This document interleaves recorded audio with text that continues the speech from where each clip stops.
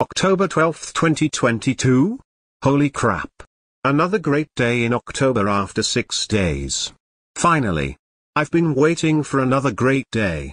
Let me tell you the story about why I like this day. I woke up, did my Quran class, and got ready for school. At school, we were doing art, we were doing a drawing about my family at the playground, then we were doing work on the school computers, then we did cookery, then we had lunch, after lunch, we did woodwork with Mr. Richards, then Danny came and told us it was his seventh birthday, he gave us all a packet of crisps, I wished Danny a happy birthday, then I thanked him by shaking hands with him. Too bad this day ended at midnight and it's in the past now, do you know who likes this day? Danny Maley from my school, he likes this day, because it was his birthday today, and I agree with him, I don't know who hates this day so I'll just leave it be. October 12, 2022 rocks, and so does October 6, 2022, October 4, 2022 sucks, end of salute.